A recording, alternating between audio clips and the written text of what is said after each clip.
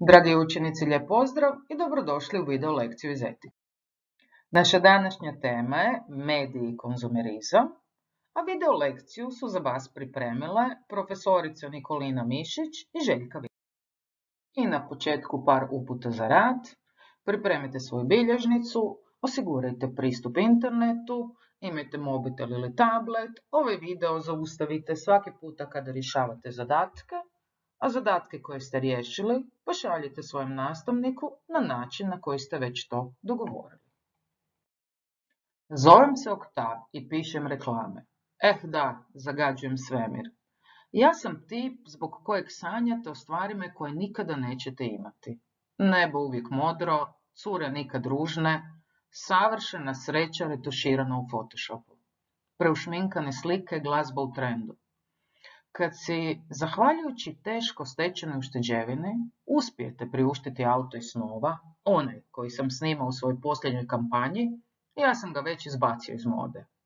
Imam tri unaprijed pripremljena trenda i uvijek sve tako izvedem da se isfrustrirate. Glamur je zemlja u koju nikad ne stižemo. Drogiram vas novitetima, a njihova je prednost da nikada ne ostaju novima. Uvijek ima neki novi novitet zbog kojeg zastarijeva prethodni.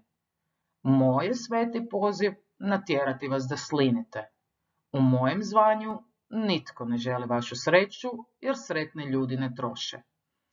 Trgovina se hrani vašom patnjom, ali da bi se potreba stvorila, moram u vama raspiriti ljubomoru, tugu, nezasitnost. To je moje streljivo, a moja meta ste vi. Molim vas da sada riješite ove zadatke u svoju bilježnicu. Objasnite prvo rečenicu što to znači glamur je zemlja u koju nikada ne stižemo. I zašto se trgovina hrani našom patnjom. Te kako reklame mogu to raspiriti našu ljubomoru, tugu i nezasitnost. Prisjetite se neke reklame zbog koje ste se možda i sami tako osjećali. A onda s druge strane, koliko dugo osjećate sreću nakon što ste kupili neki novi proizvod, na primjer nove tenisice ili mobitel? Te razmislite još malo zašto se u reklamama često pojavljuju neke poznate ličnosti, kao u ovim primjerima na slajdu. A sada poslušajte ove dvije pjesme putem poveznice na slajdu, te usporedite tekstove pjesama. Kako sreću određuju autori tekstova pjesama? A što je sreća za vas? Ako se moj osjećaj identiteta temelji na onome što imam, na posjedovanju, ako mogu reći ja sam ono što imam, onda se nameće pitanje što sam ja ako izgubim sve ono što imam. Ovo je izjavio Erich Fromm, psihoanalitičar i filozof, u intervju iz 1976. godine povodom objavljivanja svoje knjige Imati ili biti. U knjizi From iznosi svoja višegodišnja istraživanja te zaključuje da su imanje i bivanje dva temeljna modusa iskustva pomoću kojih se određuju razlike između individualnih karaktera. U modusu imanja možemo prepoznati karakteristike stila života našeg vremena, Mislimo da stjecanje stvari, društvenog položaja, pomodnih stavova i mnogobrojnih površnih odnosa pružaju sigurnost. A zapravo nam samo stvaraju iluziju da vrijedimo onoliko koliko imamo. Stav da ono što imamo određuje ono što jesmo, neminovno se raspršuje u nekom životnom periodu.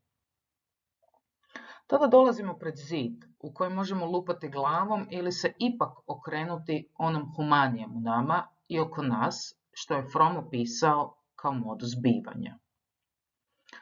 Molim vas da sada, pomoću ove poveznice na slajdu ili QR koda, pročitate tekst iz Fromovog dijela imati ili biti, te odredite obilježja dvaju modusa postojanja, modus bivanja i modus imanja. Nakon što ste razvrstali obilježja modusa imanja i modusa bivanja, molim vas da u svoju bilježnicu odgovorite na sljedeće pitanja. Skupi ih sve. To je rečenica koju ćemo često vidjeti u sklopu reklama, a pogotovo u sklopu reklama namijenjenih djeci. Molim vas da sada putem ove poveznice pogledate reklamu te odgovorite na ova pitanja. Komu je namijenjena reklama? Na koji se način obraća djeci? Jeste li uočili ovu formu imperativa u reklami? Što se želi postići s tom zapovjedi skupih sve? Mislite li da će sreća djeteta biti razmjerna količini skupljenih igračaka? Što mislite o pojmu djeca potrošači? Na koji se način to može odraziti na razvoj djeteta i formiranje njegovih vrijednosti? Tko snosi odgovornost za to? Roditelji, država, proizvođači ili mediji? I na koji se prihvatljiv način možemo oduprijeti takozvanoj komercijalizaciji djetinstva? Putem sljedeće poveznice možete vidjeti još jedno istraživanje o utjecaju oglašavanja na djecu. O negativnom utjecaju oglašavanja na djecu i mlade možete pročitati u članku putem sljedeće poveznice, a zatim molim vas da odgovorite na pitanje. Vjerojatno ste i vi doživjeli situaciju kada se prekida film ili serija u najnapetijem trenutku nekom reklamom. Naravno da to nitko ne voli, neki ljudi čak koriste i prednosti tehnologije kako bi premotali reklamu jer ih naprosto to ne zanima ili žele zaštititi sebe i obitelj od oglašavanja. Ali ponekad niti to nije dovoljno. Naime, reklamiranje proizvoda se ne događa samo putem direktnih propagandnih poruka, već i subtilnijim pojavljivanjem nekih brendova u filmovima i TV serijama. Putem sljedeće poveznice možete pogledati više o toj temi, a nakon toga molim vas da odgovorite na sljedeća pitanja u svoju bilježnicu. Konzumerizam je fenomen današnjice koji se oslanja na materializam i iluziju da je sreća pojedinca razmjerna njegovoj potrošnji.